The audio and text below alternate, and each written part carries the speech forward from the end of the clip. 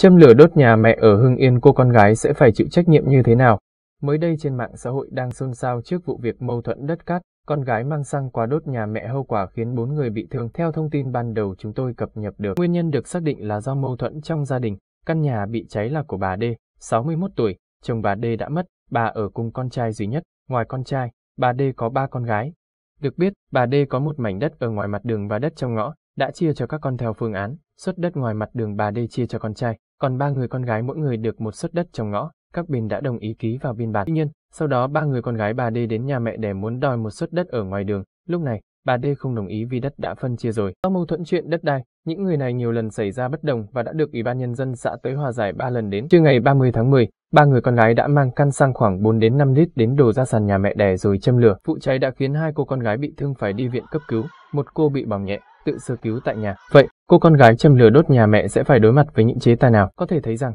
vụ việc này có tính chất nghiêm trọng, có dấu hiệu vi phạm pháp luật các cơ quan ban ngành sẽ tiến hành vào cuộc, điều tra xác minh làm rõ nguyên nhân sự việc, đánh giá hậu quả đã xảy ra, từ đó làm căn cứ giải quyết vụ việc theo quy định pháp luật. Với hành vi đổ xăng đốt nhà, mặc dù đã biết là có thể dẫn đến thiệt hại về tài sản, nguy hiểm chết người hoặc để thực hiện hành vi giết người thì sẽ bị khởi tố về tội giết người theo quy định tại Điều 123 Bộ Luật Hình sự năm 2015 không hình phạt mà đối tượng trên sẽ phải đối mặt cao nhất là tù trung thân hoặc tử hình. Mặc dù người bị hại đã được cấp cứu kịp thời không nguy hiểm tới tính mạng nhưng xét tính chất, động cơ mục đích và mức độ nguy hiểm khi thực hiện hành vi trên nếu đủ yếu tố cấu thành tội phạm thì người có hành vi trên có thể sẽ bị áp dụng theo quy định tại khoản 3 điều 57 Bộ luật hình sự năm 2015 về phạm tội chưa đạt vì vậy khung hình phạt sẽ không quá 3 phần tư mức phạt tù của tội giết người. Bên cạnh đó, nếu trường hợp không đủ căn cứ xử lý hình sự về tội giết người quy định tại Điều 123 Bộ Luật Hình sự năm 2015, thì cơ quan chức năng vẫn sẽ xử lý trường hợp này về tội cố ý gây thương tích theo quy định tại Điều 134 Bộ Luật Hình sự năm 2015. Cụ thể sẽ căn cứ theo kết quả giám định thương thật mức độ thương tích mà sẽ phải đối mặt với các khung hình phạt khác nhau như